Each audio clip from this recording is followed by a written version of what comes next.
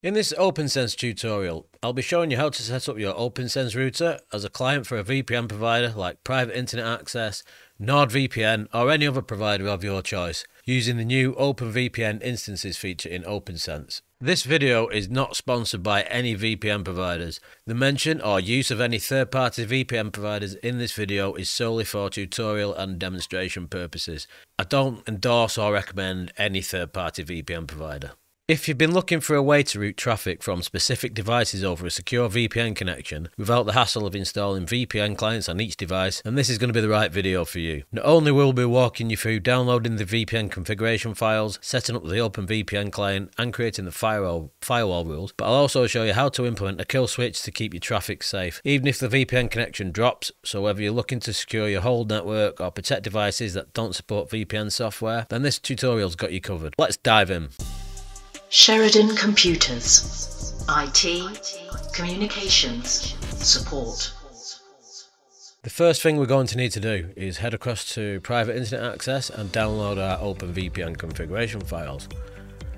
So I'm logged into Private Internet Access, I'm going to go to Downloads, and then scroll to the bottom, and then we've got VPN settings here. And we've got OpenVPN configurations, click View, and then we're just going to download the OpenVPN configuration files recommended default. So go ahead and click on that and download. And then once that's downloaded, it will give us an OpenVPN configuration file like this uh, with some of the options that we're going to need in order to configure the OpenVPN instance on OPNsense. So let's head back to OPNsense. Before we start configuring the OpenVPN instance, there's just a couple of um, changes that I want to make with regards to the gateway. So what we're going to do is go to System and then Gateways and configuration. Um, so you can see I've got one DHCP, which is my default gateway. So we need to make sure that we've got a default gateway set, and that's what this upstream shows here. So this is uh, unticked by default, so you're going to need to change this. So edit your gateway, and then find upstream gateway, and just ensure that that's ticked. If you want to do gateway monitoring, you can see that I've put Google in here, 8844, and then save your changes and apply. And then there's one more thing that we need to change, which is to do with forcing the gateway, the default gateway. So we're going to go into firewall and then we want settings, and then advanced. And on this advanced page, we've got this under multi-WAN, we've got disable force gateway, and you want to ensure that that's ticked. Uh, it will be unticked by default. Then scroll down, save changes. I'll go back to the lobby. So now we've made them changes to the uh, gateways, we're good to start creating our OpenVPN instance. If I pull up our OpenVPN configuration file, in order to create the instance, we're going to need the certificate authority, which is CA. Uh, so this is for private internet access. If you're using a VPN provider which needs a trusted certificate as well, then you'll want to copy that as well. So we need to set the certificates up. So we're going to go into System, Trust, and then Authorities. And we're going to go ahead and click on the plus and create a new authority. So we're going to import an existing certificate authority. And we're going to call this PIACA. And this is where we need to we've got certificate data here. This is where we need to paste the data from our config file. So under the CA tags, we're going to grab them. So from begin certificate down to end certificate, I'm going to copy that and then we're going to paste this into the certificate data here and just click save. Okay, so now we've imported the certificate. So we can see we've got the description, it's self-signed, it's valid from April 17, 2014 to April 12, 2034. So I'll just verify that your certificate's imported properly. If you, you don't need to do this for PIA, but if you're using another VPN provider that does have an actual trusted certificate, then you'll have to go into certificates, then add another one, go to import existing certificate and paste the certificate data here, the same as we did with the certificate authority. And because we're using PIA, we don't need to do that. So now we've got the authority, we can go ahead and start creating the instance. So we're going to go down to VPN, and then select OpenVPN and instances. Most of the videos I've seen on these recommend that you, like they're telling you to do it using this legacy client. I wouldn't do that, and I don't know why they recommend it it's legacy, so it's probably going to be removed at some stage. So we're going to do it through the instances tab. So we're going to go ahead and click on this plus here to add a new instance. In the top left corner under edit instance, we have advanced mode and you need to turn this on. I'll explain why in a second. So the role we want to set to client, description, I'm going to set this to PIA. Obviously it wants to be enabled and the protocol is UDP. Now we need the port number as well. So these settings we're pretty much going to copy from our configuration file that we downloaded. So I pull that up, got protocol UDP as you can see Uh, I'm going to copy this port number, which is 1198 for OpenVPN. Bind address, we can leave. The type is tun, which is in our configuration file. So you can see it's tun.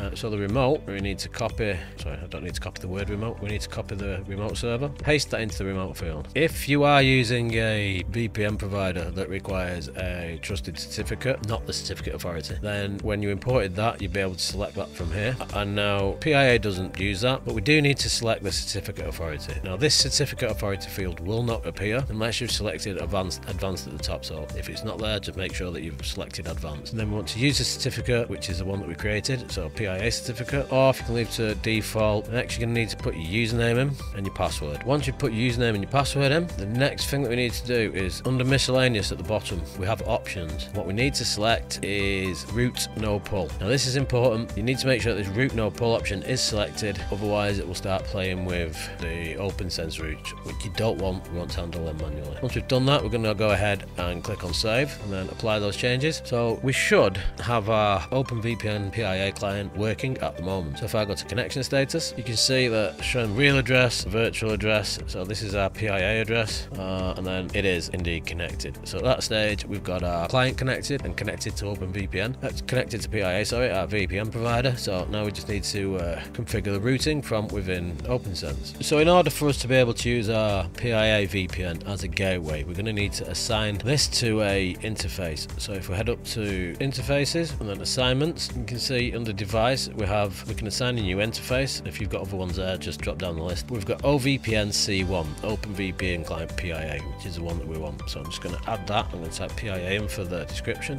add it, and then save it. I may run into an issue here because I'm running WireGuard, Tailscale, and OpenVPN. And where this says OVPN C1, I might need to change this to uh, 2 or something because I did have an issue. And I'm not sure if it was something I overlooked or because when I've got Tailscale, WireGuard, and OpenVPN running, there's a bit of a clash there, but we'll deal with that if we come to it. So save that. Once you've saved it, you actually need to enable the interface. So either select PIA from the top here, or we can just click on it here, and we need to head up and enable the interface. So we don't want to block private networks, obviously because we're going to get a private IP range. And for configuration type, we need to leave these set to none.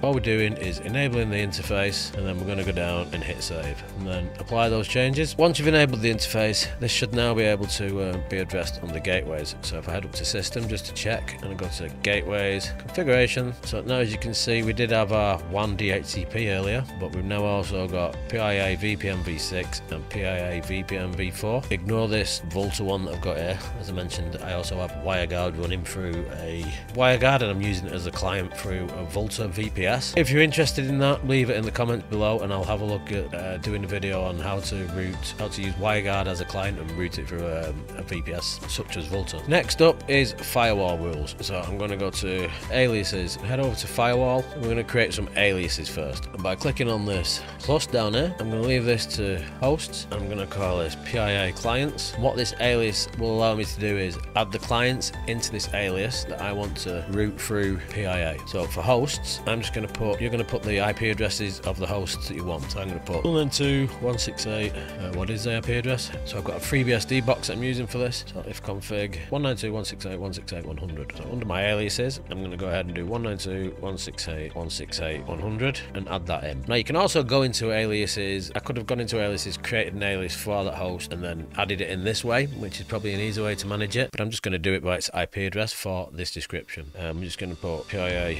clients for the description. and we'll go ahead, click on save. And next we're going to need to look at the actual firewall rules themselves. Firewall rules. I'm going to select my LAN. Ignore these rules as I say I've got Vultr running. So we're going to go ahead and add a new rule. So we want to pass traffic. Uh, obviously don't hit disable. We want to apply the action immediately. The interface is going to be the LAN. The direction is obviously going to be in. TCP/IP version is going to be IPv v4 protocol can leave to any and this source is where we refer back to our alias. So we're going to do PIA so this is our alias our PIA clients. And then for the description I'm just going to put route PIA clients via PIA gateway. And then under the gateway we have gateway set to default and we need to change this to our PIA VPN v4 all this rule's doing basically is we're going to pass traffic coming from the LAN in the indirection of IPv4 uh, any protocol and the source is coming from our PIA clients alias, and then all we're doing is force, we're doing policy-based routing to make it go through our PIA VPN v4 gateway, and then save that. And just apply the changes, grab that, and send it to the top of the list, and apply the changes. Sorry. So we want to make sure that our PIA client is at the top. Otherwise, if it's below, it'll get routed via the LAN. So we need to make sure that's first. Once we've done that, then we need to go ahead and set up our NAT rules. So again, we're going to go under firewall, we're going to NAT, then outbound. So for the mode, you can see I've already got this set to hybrid outbound NAT rule. By default, it's just set to automatic, so you can't actually play with it, but you want hybrid. So do that, save it. I've already got to hybrid because I'm using WireGuard as well here. So anyway, so we want to add a new rule. To go to add, and then we're going to want interface. Obviously, don't disable it.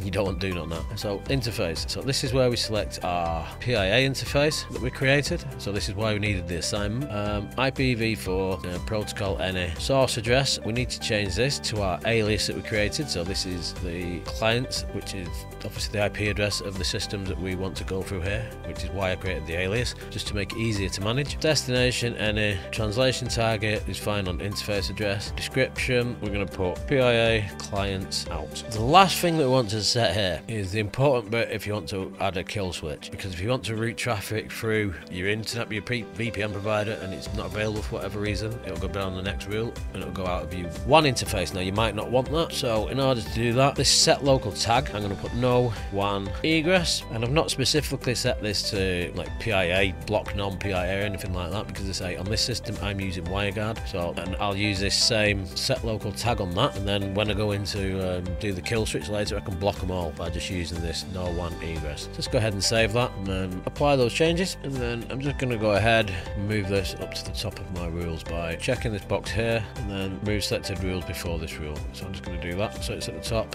Apply those changes, so you can see just to make sure I've got that in the right order, and that should be pretty much us. So let me just test that. So if I go to VPN, and then I go ahead and click on OpenVPN connection status, and zoom this out so I can get the IP a bit. So you can see the real IP address is 212.102.52.66. So because I went and added our system under PIA clients here, 192.168.168.100, then that should indeed transfer from this IP address. So I'm just going to go ahead and test that. So if I flip back to my FreeBSD system, I do ipconfig, no sorry, Windows. So you can see this is the alias that we added, 192.168.168.100. So if I go ahead and do a curl ifconfig.io, the public IP that we've got is 212.102.52.66. So 52.66. Is that what I said? I'm going to go back into OPNsense and take a look. 52.66. It is. So that's basically how you do that. And just to prove, if I go into uh, firewall rules and I go back and I have a look at my LAN rule, I'm just going to disable this for a second by just hitting disable here and apply that. And I'm going to back to my firewall NAT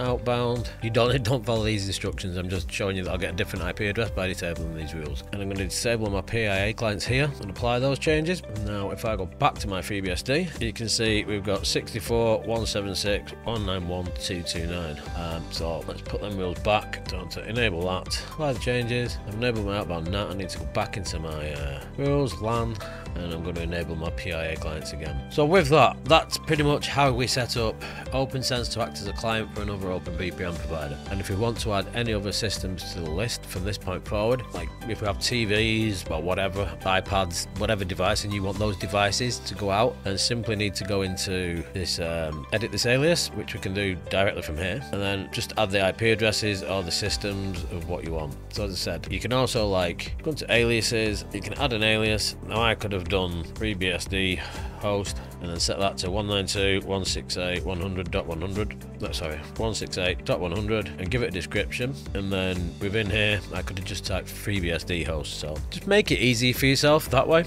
the next thing that we want to do from here is implement our kill switch. So I'm going to go through that now uh, because if we set our systems up that we want to go through private internet access, if that connection is not available, then you might not want the traffic to go di via directly from your WAN. So let's show you how to do this. I'm going to go back into firewall rules. Now on my LAN, when I created this uh, PIA client rule to send to route all the traffic through the PIA gateway, you'll remember I gave it a tag. So I'm going to go into firewall rules LAN and where we've got our PIA clients, we're going to go ahead and edit it and we want to scroll down to advanced features and want to show hide and this set local tag. This is where we do NO_WAN_EGRESS. I should have put that in there before actually. Save that, apply those changes. So now that we've got that tag here, NO_WAN_EGRESS, I'm going to create the blocking rule. So I'm going to go into firewall rules, but this time up floating.